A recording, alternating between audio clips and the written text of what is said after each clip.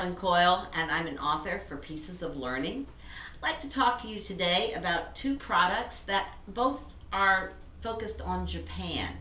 One is called Eye on Japan, and the other is Japan Questivities. Let's start first with Eye on Japan. Uh, a number of years ago, I was able to go to Japan, and while I was there, I did a journal of my three weeks as I traveled through. I found out that there was an awful lot that I didn't know about Japan that I certainly had never read in any social studies textbook, but that was really very, very interesting. Out of that experience, I wrote Eye on Japan. So it's part journal, personal journal. It's part a series of observations, so there are lots and lots of observation pages.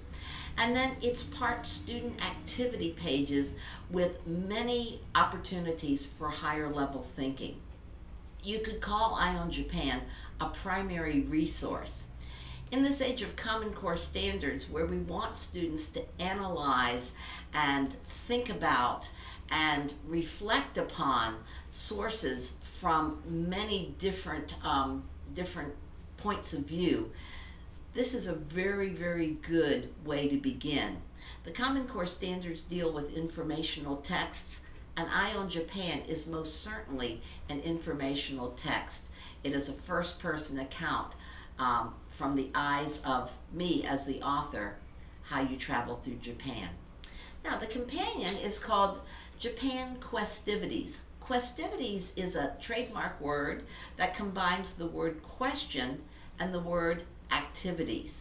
Uh, all of the questivities that um, pieces of learning publish, uh, all of them have to do with a series of higher level questions. Um, list, compare and contrast, what would happen if, would you rather, all of those kinds of questions tied into a project activity that students do once they finish the questivities questions. Many of the questions uh, take some research or some brainstorming or some creative thinking. And many of the questions can be answered by reading some of the information in this journal, Eye on Japan.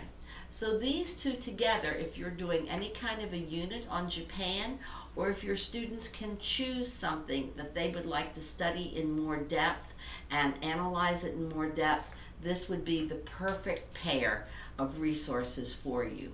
Thank you.